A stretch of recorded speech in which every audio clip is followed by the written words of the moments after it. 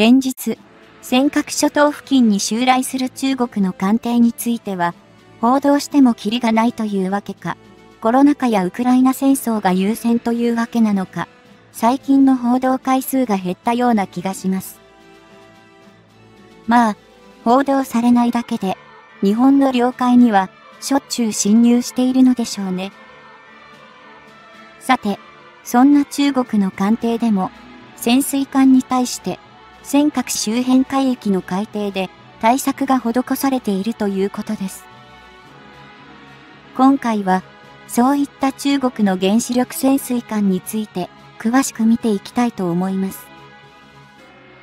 以前、海事の潜水艦に追跡された中国の原子力潜水艦が白旗を上げたような状態で中国国旗を掲げ浮上したという過去の事件を覚えている方も多いと思います。改めて当時の海外の反応と一緒に振り返ってみましょう。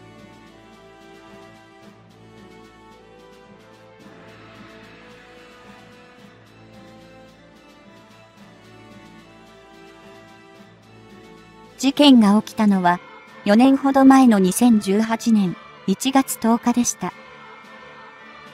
激しい騒音を出していた中国原子力潜水艦が海上自衛隊に早急に探知され、2日間にわたって追尾されるという侮辱を受けたと、香港サウスチャイナモーニングポスト紙が報じたのです。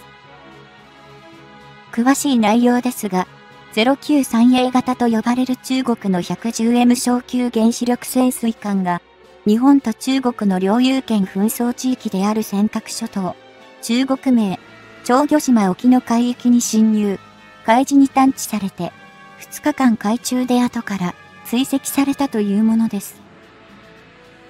挙句に、12日、公海で中国国旗の五星国旗を帆柱に立てたまま、水面上に浮上したという、こちらから見れば滑稽な事件でした。軍事力を誇る中国の源泉が見くびっている日本の潜水艦に追いかけられて降参したようなものですからね。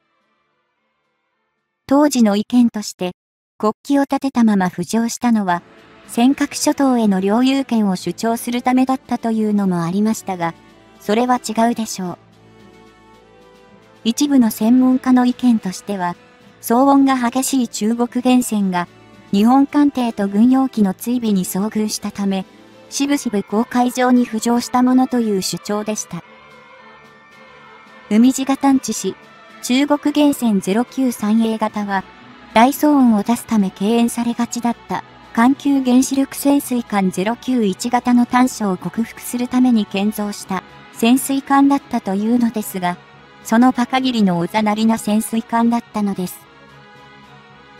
対艦クルーズミサイルを装備した 093A 型は、アメリカのロサンゼルス級原潜に匹敵し、091型と比べると、飛躍的に西欧性が向上したと見られていましたが、この事件で、その信憑性も疑わしくなったのです。アメリカ議会報告書では、中国は2020年以前に攻撃型原子力潜水艦を6隻まで増やす方針を立て、2020年代には、従来の潜水艦よりも、西欧性がはるかに優れている次世代潜水艦095型を収益させる計画も持っていたとのことです。さて、中国源泉が海事に追われて浮上した事件に対する海外の反応をまとめてみました。1、このタイプの中国潜水艦は騒音がすごいから見つかりやすい。2、中国製潜水艦には何も期待していない。3メイドインチャイナならこういうことは驚くことはない。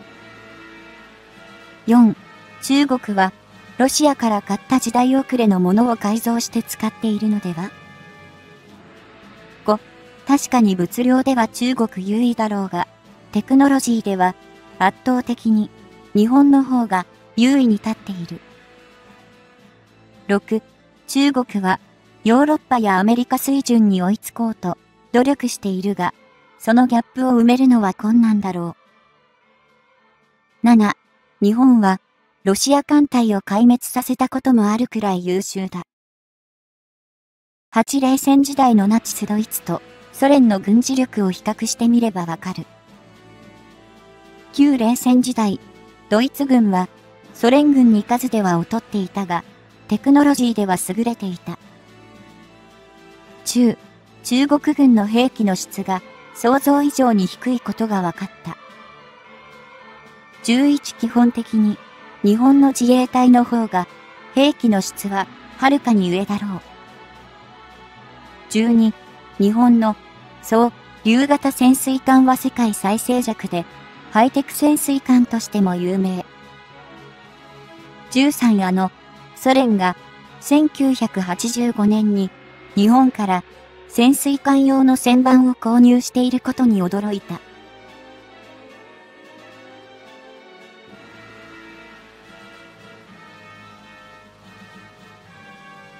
日露戦争まで飛び出すとは、海外の人の中でも、近代化へ歩き出したばかりのような日本が、ロシアを凄惨な戦いでしたが、破ったということは、強い印象を与えているのですね。さて、原子力潜水艦の役割は、本国から遠く離れた場所に、ミサイルや魚雷を運ぶことです。はっきり言うと、海中で敵に悟られないように、静かに先行することではありません。西欧性があれば、当然それに越したことはないですが、西欧性を最優先に求めるのなら、通常動力型を作るのが普通だと思われます。では、日本国内の反応を見ていきましょう。1最新鋭で、ハイテクの潜水艦は、海底で情報収集しているのだろう。2中国人は想像しいから、離れていてもすぐ探知可能。3、中国のステルス戦闘機も、日本とアメリカのレーダーに探知されるか試した方がいいのでは。4、日本の領海侵入を探知したら、すぐ沈めてしまえばよいと思う。5、日本の軍事費や規模は小さいが、島国ならではの海での戦闘力は、では世界一だろう。6軍事費や数だけで、質が悪い兵力では、日本には勝てない。源泉は、本来海中に秘匿する、核ミサイルサイロとも言われていますが、長期間の作戦行動が前提だからこその原子力と言えましょう。一度原子炉を動かしてしまえば、半永久的に動きますからね。オーバーに言えば、浮上しなくても乗組員は生活できると言われています。通常の攻撃型潜水艦は、多少の騒音より超時間先行のメリットを優先しましたが、現在は通常動力型でも2週間程度なら、連続で先行が可能になりました。静粛性が高い分だけ原子力潜水艦を戦術的に凌駕するようになったアメリカは、すべての潜水艦を原子力化したことで、逆に通常動力型潜水艦を現在のレベルで作れなくなり、正直焦っていると見られているのです。要するに、アメリカの後を追うように原子力化している中国も、いずれはアメリカと同じ鉄を踏むことになると推測できます。中国の 093A 型潜水艦は、静粛性を向上させた最新型という触れ込みでしたが、目立つ標的におびき寄せるだけで、別の場所で作戦しているとしか考えられないのです。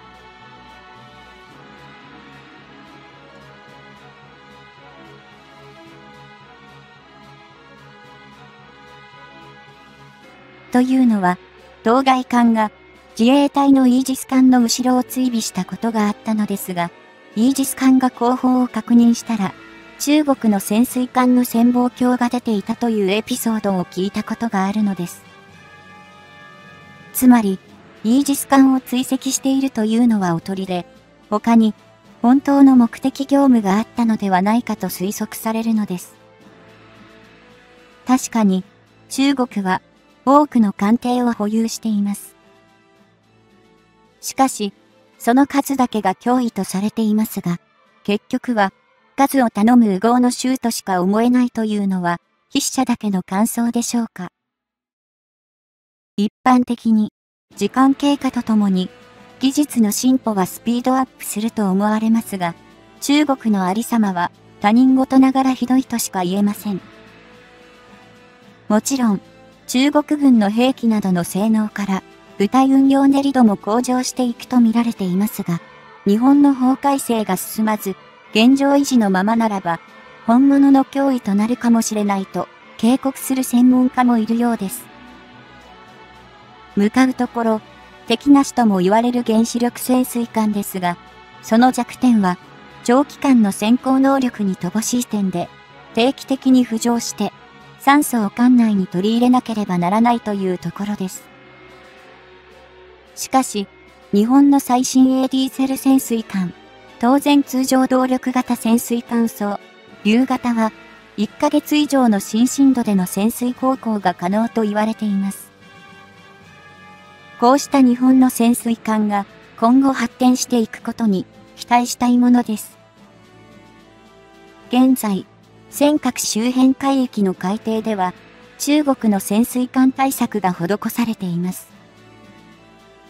でも、すぐに見つかる潜水艦って標的になるのは当たり前ですよね。中国の潜水艦が潜れるだけいいかな。どこかの国は作っても先行できないからね。軍事大国中国の源泉はなぜすぐ発見されてしまうのか海地があっさり発見する戦略とは？